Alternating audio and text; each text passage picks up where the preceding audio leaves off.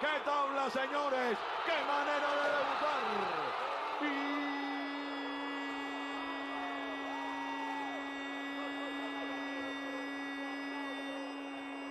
Y allá va.